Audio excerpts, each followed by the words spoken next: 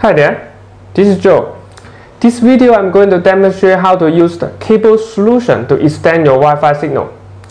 This is the power line adapter. The power line adapter allows us to add the network signal to the power line and using this receiver to catch the signal and create the Wi-Fi from there. The second one is the PoE extender. The PoE extender can extend the network signal up to 500 meter and create the Wi-Fi from there. Right now let's get started. The first solution we are going to using the power adapter. This power adapter uh, can add the network signal to the power line. So first we are going to connect the network cable to the one of the power adapter. Then we plug the power line to our AC outlet. And we connect the another cable to the main router. So the router is sending the data to the power line. Right now we go to the, the other end, then using the adapter to receive the network signal. This is the power line receiver.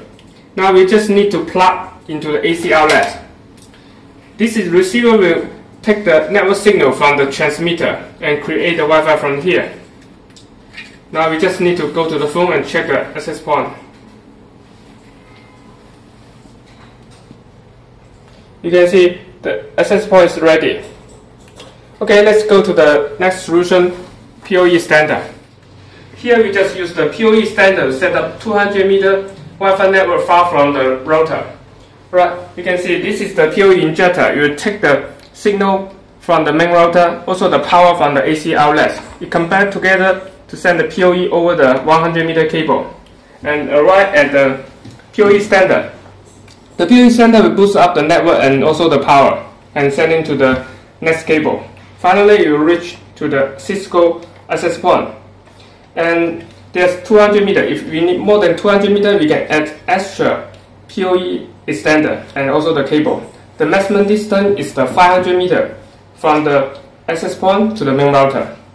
And you, you may discover one of the advantage, there are no AC outlet in each of the PoE extender. Also, there are no need outlet for AC outlet for the access point. All the power will send them from the PoE injector.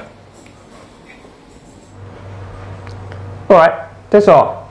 If you have any question, you can post in the comment section below. Thanks for watching.